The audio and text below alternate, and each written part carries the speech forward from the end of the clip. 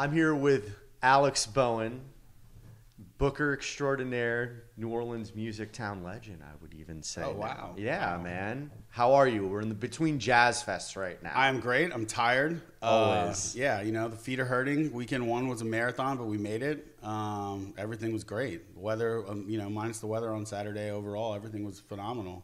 You said feet hurting. Do you do you an insole guy? Do you use anything to try? Because uh, you're on your feet a lot. What people don't understand is like being in the industry. You are on your feet constantly. It's almost like service industry on steroids to a certain degree. Hundred percent. You know, I, uh, I I've- got this weird formula where I won't wear the same shoes two days in a row. I in- like that. In order to give my feet a break, but I do have a couple pairs of Hokas. I throw in a couple pairs of That's Air Force guy. Ones, so you know it's just bouncing in between. But if I'm doing an actual proper festival in the fairgrounds, it's Hokas all day. Hoka, if you're listening to this, Sponsor me. Alex. I've exclusively been running in Hokas for five years. I can't wear anything else, and it's become my Jazz Fest dad fit. It's, It's- just I throw them on. The Whole Foods crowd kind of took it over because they're not like exceptionally cool looking, but they're everywhere now. It's like walking on a Tempur-Pedic mattress. Yeah. It's the best thing ever. Once I saw like the nurses and all them were on too, too, I was like, all right, they're they know what they're doing. Hundred percent. But but I want to talk about how you got into the industry, man. I want to hear from your start to get to now. I want to hear the whole story and just we explain to people where you came from, where you're going, and and how you keep going, essentially navigating this town in this industry through sobriety, which I think is fantastic and admirable. Yeah, so um, let's see. I went to my first concert in third grade. Shout out Uncle George Fabalora. Appreciate you. Um, you know, I he brought me and my sister to a Boyz II Men Brandy concert as a third grader. Took us backstage, and you know everyone's backstage excited to meet the Boyz II Men guys, and I'm Yeah. literally just tugging at George's arm, saying, "How do I make money doing this as a third grader?" Very So- industrious, even at that age. At, at third, as a third grader. Um, so you know that that was kind of my first look into what the live a live concert was, Uh-huh. and uh, I just fell in love with it. And you know, I next the, the following year I went to my first rock shows, uh, Bush, Goo Goo Dolls, and No Doubt. nice. That's a hell of a bill, It was man. nine- 1997, dude. It, Yeah. was, it was epic. And then uh, the next year, my uncle took me to see Smashing Pumpkins and Garbage on the Infinite and Me- or Melancholy and Infinite Sadness tour.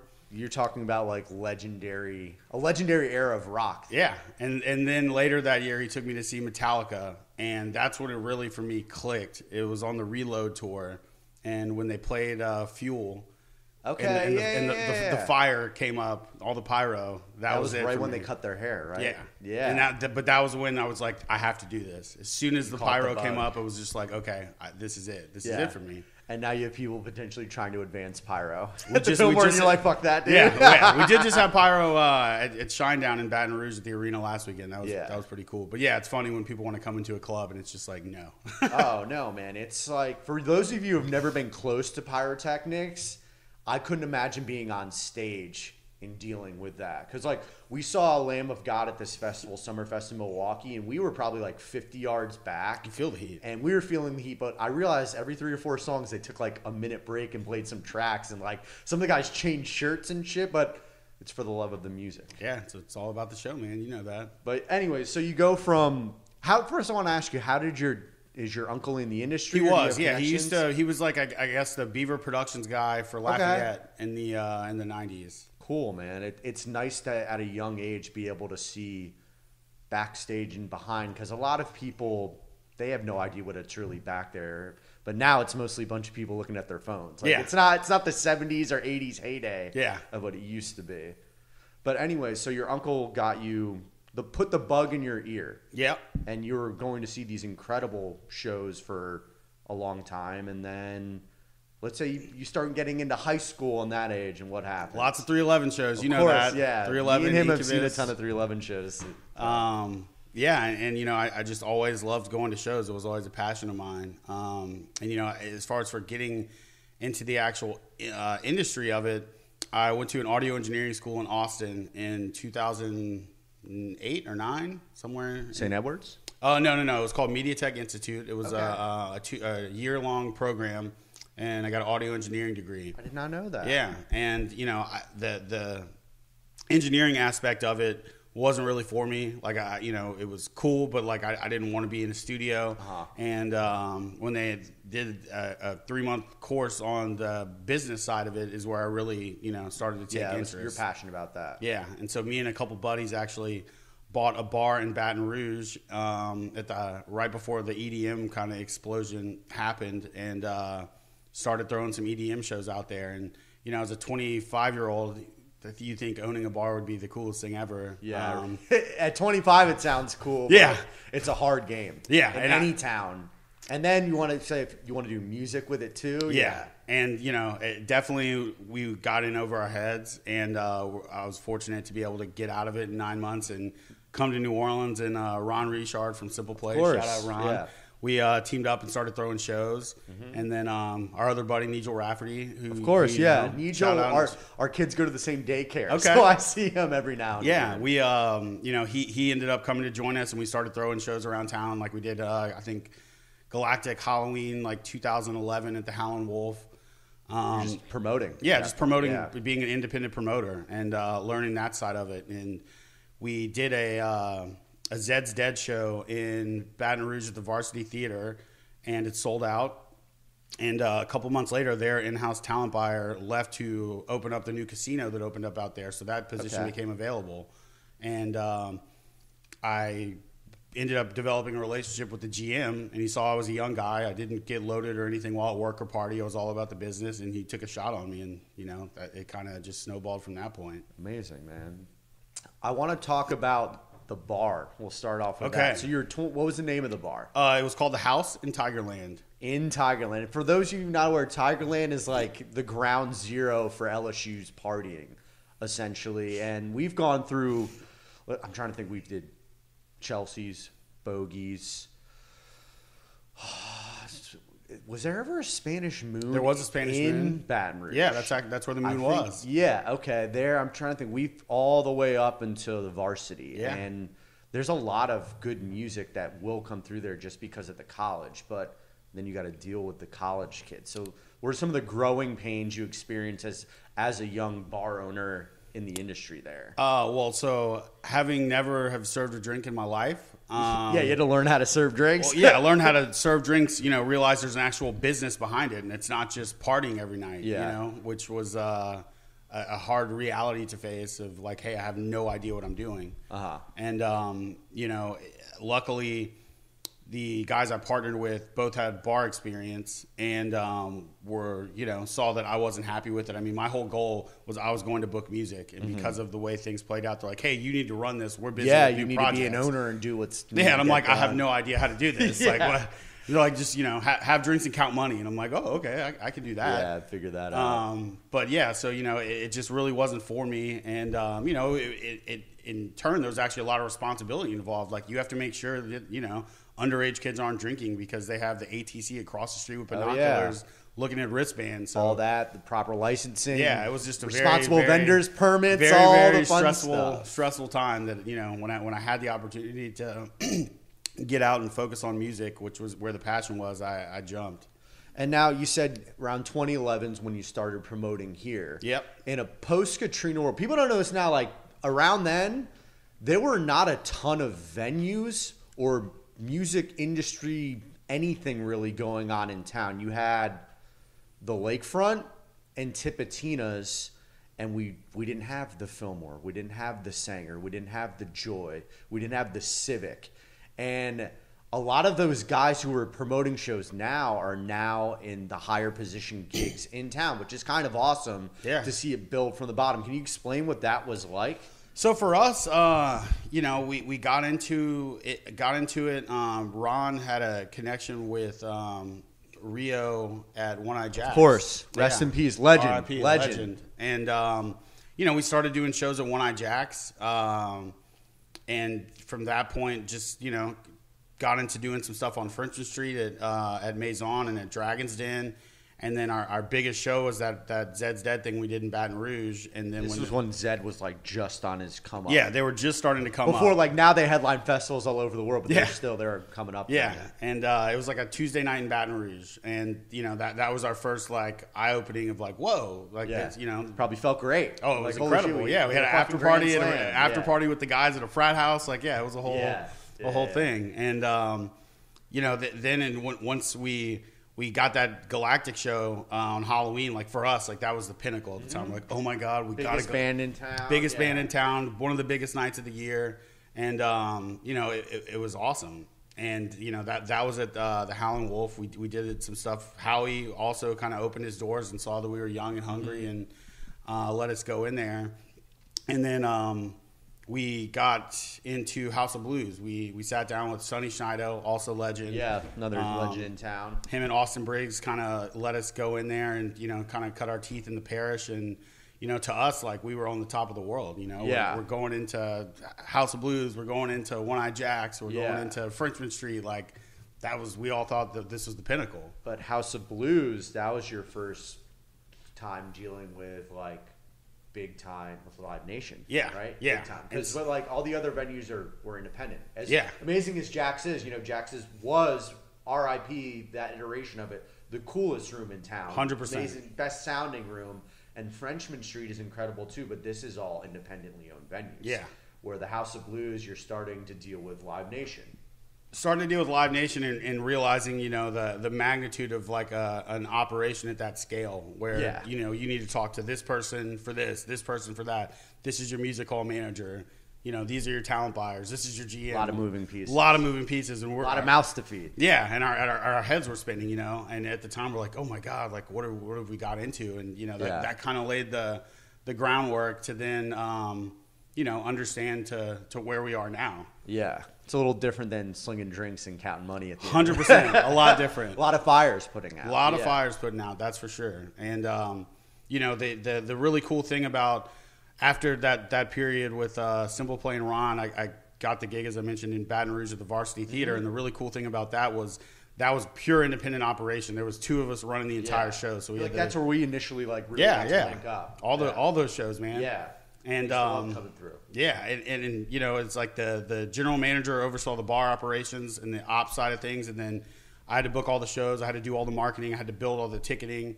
Um, so that that was my like crash course in like every Yeah. facet of Running a venue running a venue in the side. business, and Yeah. really really understanding it. Because prior to that, it was just like cut a deal, you know, rent a venue, and Yeah, they do was- all the it's work. different when you're kind of in house all the time and you have every problem is your problem. yeah, and early early mornings and late nights. You know, Yeah, and- but that doesn't change ever. Yeah, yeah. yeah.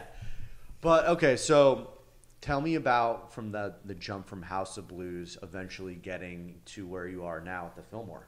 Well, so um, after doing the varsity gig in Baton Rouge for uh, I think a year and a half or two years as their in-house buyer, I got an opportunity to move back to New Orleans and bring the varsity with me and go under the Huka Entertainment umbrella.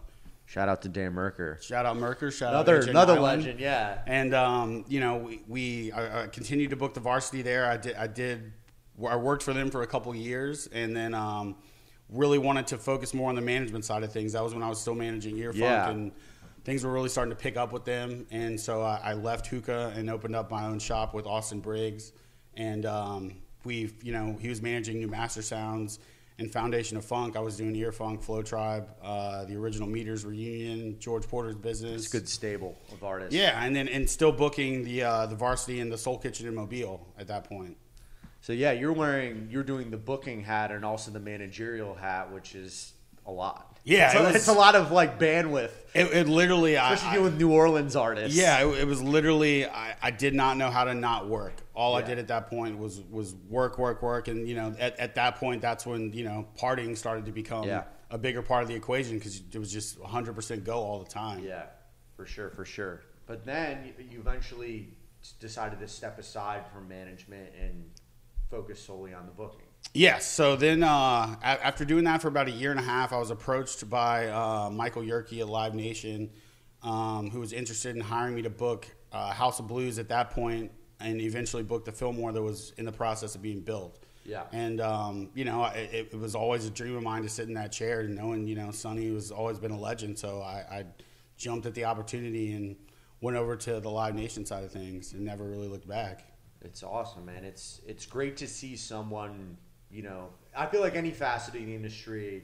I don't want to use the word stepping stones, but you gradually grow, and if you're you're totally prepared for what you're doing now, because you'd find out in about six weeks if you can handle this. And, Yeah. Live, and Live Nation would know. Oh, yeah. about six 100%, weeks, 'cause man. They're they're in the business of like putting butts in seats. You Yeah. know, they're they're not trying to do any favors.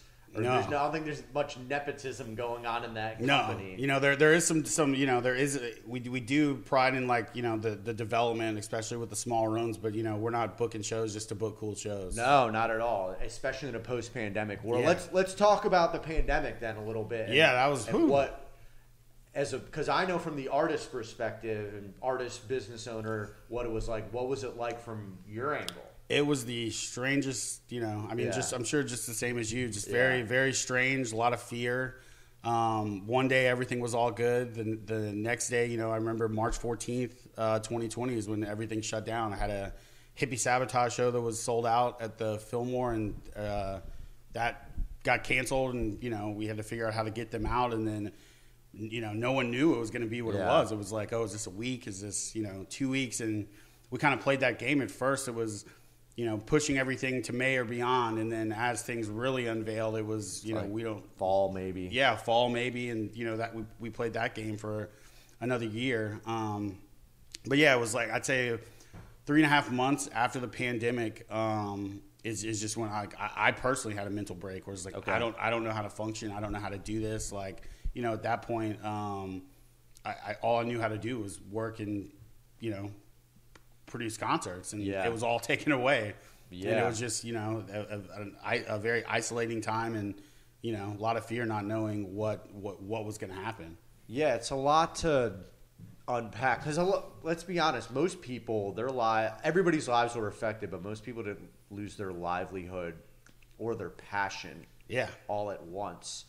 And were you already sober at the time when this happened, or is this No, like, no, no. This is this is like uh, I didn't get sober until three and a half months into the pandemic. Yeah, And- but that's so- that's valiant, man. Yeah. I guess you you realize like for a lot of people there are two paths you could have gone down, and I like myself when I was looking at what's going to be the tail end of this thing. Yeah. I realized this is an opportunity. This is a gift to make some changes, and I'm going to either be really happy with how this how I treated with this time or not. And you, you seem to hit the ground running with it. Yeah, I mean, it, it kind of was the, the perfect storm, you know. Um, it, it really it, it was it was very eye opening that when the whole world stopped and all that, like with most people, you know, they they stopped partying, and I, I didn't. And so for me, that it was a, a very harsh reality of like, hey, you have a problem and you need to do something about it. And you know, I was very very fortunate that um, Live Nation was super supportive. They have a we take care of our own program. And, Oh, it's incredible. yeah, I was able to, you know, make a phone call to HR, and a week later they they sent me to a treatment center, and you know, Incredible. really, really supported me. Um, you know, taking that time, especially when things were really slow, Uh-huh. to you know get some sobriety under my belt and you know learn how to live. Exactly. Yeah, and just coming from a person in an industry where you said all you knew how to do was work, and then when the work goes away, what's the only thing that you have left? Yeah, And that that was like me too. Where when we would tour heavily, I would, especially when I didn't have to bartend anymore, I would come back home and it'd be like, everybody's working. What am I? What am I going to do right now? And the one commonality I had between the road and home was I could party. That was the only thing. That was like the Yeah. only normalcy I had. And then you don't realize until you get caught up in these kind of scenarios. And but you're doing fantastic now, right? Oh, it's. I mean, look, I'm I'm happier than I've ever been. Um, you know, I, I I wouldn't change it for the world. Um, I have a newfound love and respect for you know what what we do, Uh-huh. and you know just the, the it's something I'll never take for granted again. You know, I, I felt like prior to the pandemic, it was, you, you know, we're we're in that nonstop turnover Yeah. where where it's like, oh, I'm sick of this, or like, oh, I wish I didn't have to do this, and now it's like you know, even if it's a show that I'm not a fan of musically, like just to see people come together again and have those experiences is Absolutely. that's what keeps me going. So, you're you're sober, you work in the industry, and you live in New Orleans. How how do you navigate that? Well, so man, what's what's you know what what I've I've come to realize um, since I've I've been doing this thing is when you go to these party towns like New Orleans, like a Vegas, because they're such big party towns, they have a great great recovery. And you know what's really cool about New Orleans is. You know, as you know, there's a lot of musicians who are sober. Um, Yeah. there, there's a, a lot. Some have it publicly known, and, Yeah. and some are more private about yeah, it. and you know, it, it they they kind of some of those guys reached out to me and just you know, Nice. to show me that hey, you know, We're here. We got. we're you. here, we got you. That you're ready, Yeah, and we're there's here. and there's a way to do this. Yeah. Um, and you know, just seeing those guys was like, okay, like if, if that person can play, you know, 19 shows in seven days during Jazz Fest and Yeah. stay sober, like then I can clearly, you know, produce a couple of hang. concerts and hang. I can do the same and thing. and you know, it was like trying to figure out what that looked like. Which for me, it's like. You know, I, I go to a show, I, I, I hang out with you guys after, like we did on Friday night, and then like I go home and go to bed. Like, Mm-hmm. Yeah. I, don't, I don't need to go to a Snake and Jake's until four in the morning to go hang with people. The It's FOMO. like- it's the FOMO. Yeah. I, I guess is the first hurdle of sobriety. It's you're spending this time doing all these different things with people, and I don't want to say when you take a step back. I think initially in that phase you feel bored, but now it's the simplicity that I long for. Where like the me five years ago would be out every single night till nine a.m. and Yeah. now like I'm totally cool with leaving the show, saying my goodbyes to everybody, and going home Yeah, and I mean, instead I- of searching for something. and, and totally, and that's like you know, that's the thing. It's like prior to getting sober, it's like you know, it was always I was always seeking connection of some sort. Yeah. you know, whether it was the hang afterwards or the show, like it was always just had yeah, to be something. It was a hustle. There was Yeah. like, if, and I, I'll be the first one to admit it. There are so many gigs and relationships I've made with people by hanging and going to places late night and just like being there. And that was a scary thing for me. Is like if I stop doing that. Am I just gonna fall off the face of the earth? Am I not gonna have opportunities come my way? But then you realize like that's totally not the case. Yeah, no, it's it's and, and you know also like I had this fear that like oh like, what are people gonna think and like Yeah. people respect it they're like oh hey like you know Yeah. he learned how to take care of himself exactly. and and for me it was like once I, I, I really learned how to like like and love myself as is Mm-hmm. then integrating back into that situation I, I you know I, I go to my job I perform my job I, I hang with you guys I hang with whoever you know Mm-hmm. spend time with people and then like I go home and go to bed and just start the next day and it's a simple life, but it's yeah a good life. it's, it's very simple and it's awesome man it's, it's uh it's incredible to have you know but what people don't understand is it's not normal yeah and that's okay like i straddled that line of what what is normal in this and it's it's not traditional but i think which allows you to get yourself into some of these ruts and holes and you, you find yourself caught up in some stuff you don't want to. But because we're in an it's a fun job it can be fun and exciting it's nice to be able to just go home and, and chill and it's not like some people can't do that. They get home and they're like i don't want to be here and it's like no i, I enjoy my solitude now. Yeah, and, and not only that, but like you know, it, it's before it's like you know, while it was my job, it was like that was my life, like that was. Yeah, yeah, yeah. And now it's like I, I have a job, I go to work, and I'm able to you know ha- have a, a, what is like a, a normal life Yeah. to a normal person. It's like finally figuring that out in your 30s. You know? Yeah, it's not your work life isn't always bleeding through into your home life. exactly. Yeah. But speaking of work life, we're we're in the thick of Jazz Fest, man.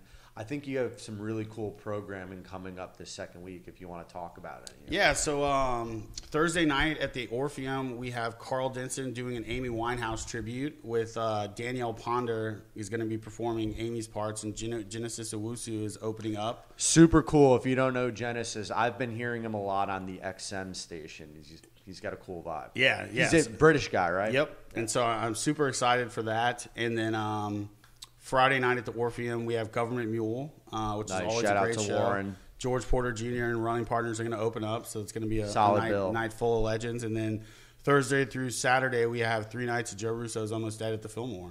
That yeah. So this second weekend, what's interesting about this particular Jazz Fest is Dead and Co is finally playing. I know they were slated for the pandemic to Yep. come in, and Daniel and I were just talking about how the entire like not just gig economy, the like tornado that comes to town when the dead do something. And Joe Russo being, you know, like a disciple of that music, playing and further everything is part of that. But JRAD has taken on this incredible life of its own where you essentially have a cover band that is selling out arenas and doing multiple night runs all over the country. Yeah, and it's almost like the. Fillmore is like an underplay It 100% for is them, an which is insane to think about. Where you have a band that's actually playing the fairgrounds, just brings this whole circus with them throughout the entire week because they're not all here yet. But come Thursday, Oh, like yeah.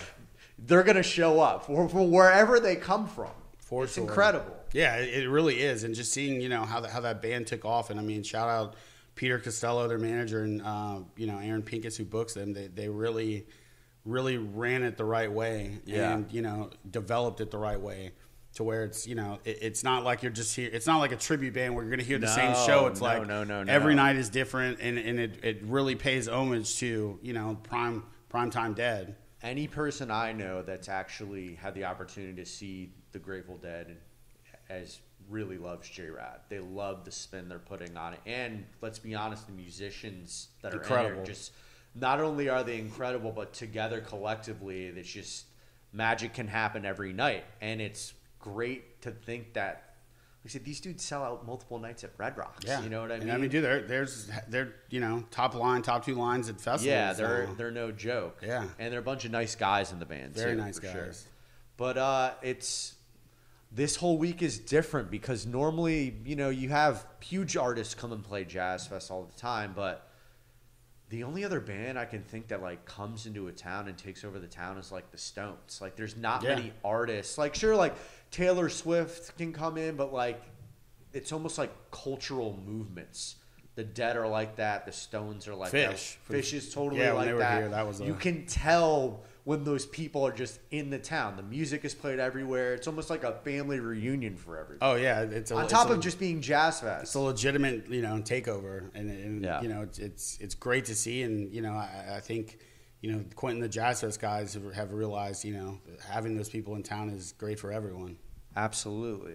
What What are you excited about seeing yourself? Uh, so I'm look. I'm excited to check out all the shows I just mentioned. Yep. Um, I'm excited to go and see Santana on Thursday at the Local. Thursday. I will be there as well. Yep. I'm really, uh, really pumped for that. And if I recall correctly, Buddy Guy is playing before. He's on his Damn Right Farewell Tour, which kicked off in Baton Rouge with us, and the show was incredible. Awesome. So, uh, you know, I definitely want to go and, and see him again. And let's see what else. Dead and Co. I'm definitely excited for. I think I'm going to go Thursday, Saturday, and then uh, Sunday. Mumford and Sons into Troy is you know, Yeah. can't be missed. For those that don't know, uh, Trombone Shorty Troy Andrews has become the official farewell set of uh, Jazz Fest. Yep. So I've been able to see him in some incredible situations, whether who it's the Foo Fighters before him or the Neville Brothers, which I guess originally that was Yeah, their that was their slot. Yeah, and he's just like become such an ambassador for the, like him, Jon Batiste. It's just great to see these people have this like national spotlight and Yeah, people and like that. man, I got I got to give Troy and his whole team a shout out. David and Matt, you know, we we we uh, we had the Treme Threauxdown with them on Saturday Yeah. night at the Sanger, and man, it's like every year they just step up their special guests It's- to another yeah, it's level. a who's who of A-list. yeah, and you know, uh, Saturday night we have Corey Wong, uh, Robert Glasper, Eric Church, Mavis Staples, uh, Such an eclectic group. yeah, Steve Miller. Um, I don't want to forget anybody. Taj Mahal, uh, Yola. I mean, it was just top to bottom. It's just an all star performance, and it, it's you know seeing Troy not only command that, but people respect him and respect what he's doing for New Orleans to come Oh, and want to be a part of that is just so cool, man. Yeah, it's we're lucky to have somebody, and he's he's been doing it for a long time. Yeah, that was his. That uh, just A specifically that show was his seventh Treme Threauxdown. But I mean, dude, he's been in the game since you know he was thirteen dude, or fourteen. I remember being like a sophomore or junior at Loyola, and like they were doing like homegrown nights at Tipitina's, and he was playing on like a Wednesday. But back then, like Joey Pete, all these dudes, Dan, were in the band then. Yeah. And the fact that they've stayed together as a unit is a testament to Troy and the music and what they're doing. And now they play all over the world. All over. And this is his town. This is his time. And that's why you can get, you know, Eric Church, Yeah. Steve Miller. They want to be a part of that. They want to come to town and, and be a part of what's going on. Because let's be honest, man, we have two times. How many cities you know out there that have two times where the eyes of the world are upon us? We have Mardi Gras, which is a drinking fest with Oh, music, yeah. and we have Jazz Fest, which is a music fest with drinking. drinking. Yeah. No, hundred percent, man. And uh, you know, the the guy, the show you guys put on on Friday night was also incredible as always. Yeah, man. We've been very lucky to kind of uh, have you guys as a home at the Fillmore, and it's just it's a fantastic room, man. Like, if there's not a bad viewpoint. The sound is great, and if you want, you can go after and hit the craft staples. There you go. Yeah. So, Be careful. but yeah, man. Um, but yeah, what I just want to know what what do you have going on this summer? What are you excited about? What uh What am I excited Yeah. about, man? So, uh, you know, normally summers are pretty slow um, in New Orleans in the club and theater world, just because of all the festivals and stuff going on. But we have uh, Fleet Foxes at the end of Very June, which. I'm excited about. Um, we have Pixies and Franz Ferdinand the Cool week bill. before that in June, which is going to be really cool. Um, you know, in the arena world, the Wednesday after Jazz Fest, we have The Cure. Um, oh yeah, they're on their big tour. yeah, they're right kicking now. off their tour here, and then the next night we have uh, Tenacious D's coming back to the Fillmore.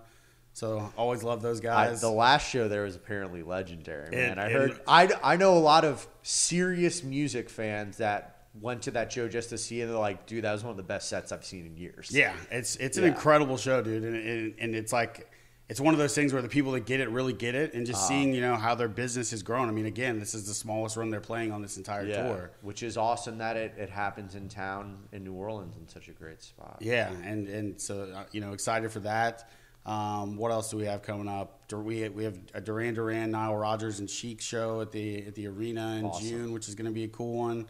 Um, Shania Twain in July, Alicia Keys in July, uh, Snoop Dogg and Wiz Khalifa in August, which will be really cool. Sounds like you're gonna be busy. You gonna have Yeah. any time to, for yourself? Yeah, uh, I'm actually after the the day after the Tenacious D show. Uh, my partner Adrian and I we are flying to the Bahamas to have a little decompression Nice. session, and um, yeah, you know, other than that, just just rocking and rolling, gearing up for a big fall. Awesome, man.